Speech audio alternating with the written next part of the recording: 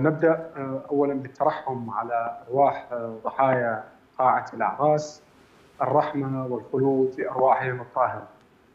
في الحقيقة ما حصل كان كارثة ما حصل كان أشبه بالحوادث السابقة التي شبعت منها هذه المدينة وأدمت هذه المحافظة. محافظة نينوى بعد التحرير وإلى اليوم عانت ما عانت من إهمال في كثير من القطاعات ونخص منه القطاع الصحي. يوم أمس شاهدنا غيرة كبيرة من قبل الأهالي وغيرة كبيرة من قبل القوات الأمنية. ولكن ما يؤسفنا هو الإهمال الصحي. يعني إحنا الموضوع اللي دائما نكرر عليه نحن كشباب نينوى كاهالي نينوى إنه اليوم هنالك أعمار ولكن أعمار ليس بالمستوى المطلوب. مستشفيات مدمرة إلى حد اليوم ست سنوات ليست هنالك أي مستشفى مكتملة. في نينوى كلها هنالك مشفى واحد للحروق لا يتحمل إلا بعض الحالات أو عشرات الحالات. وما حصل يوم أو يوم أمس كان مئات الضحايا يعني حد آخر إحصائية وصل العدد إلى 100 وهنالك جثث لم يتم التعرف عليها إلى حد الآن. هنالك عشرات المصابين حاليا يتم نقلهم إلى مستشفيات خارج محافظة نينوى للنقص الكبير والحاد في الإمكانيات الموجودة في صحة نينوى مع الأسف.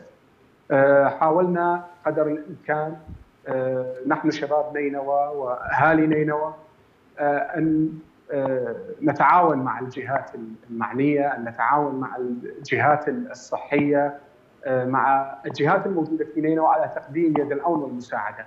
حقيقة مواقف جيدة ومواقف كبيرة شاهدناها من قبل الأهالي وأصحاب المداخل والشباب في تقديم يد العون والمساعدة. هذا الأمر مفرح من جهة ومحزن من جهة أخرى. إحنا اليوم حادث بسيط في قضاء هو ليس بالبسيط ولكن حادث ذهب ضحيته عشرات شاهدنا زخم كبير في المستشفيات ولم تستطع تحمل هذا الامر. ماذا لو لا قدر الله سبحانه وتعالى أن يحدث أمر جلل أو أمر أكبر في المدينة؟ كيف سنتعامل مع هذا الموضوع؟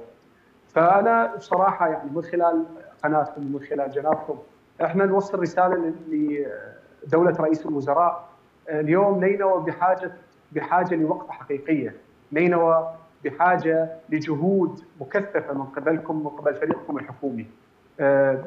مع الأسف هنالك بعض التراخي من قبل الحكومة المحلية، هنالك إعمار في جهة وإهمال في الجهة الصحية. فنريد تكثيف للجهود وبناء للمستشفيات وإزدال إزدال هذا هذا الإهمال عن عن هذه المحافظة.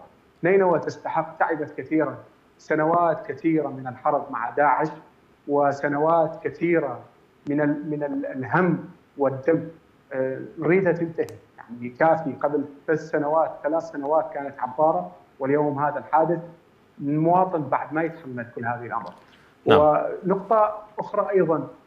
إحنا اليوم صح يوم أمس كان قضاء وقدر بسبب عدم وجود رقابة صحية على هذه القاعة. وذهب ضحايا بالمئات ولكن كن واثق ويعرف اهالي نينوى هذا الأمر. نحن يوميا يموت ادنى العشرات بسبب النقص الحاد في المستشفيات وبسبب الإهمال الموجود في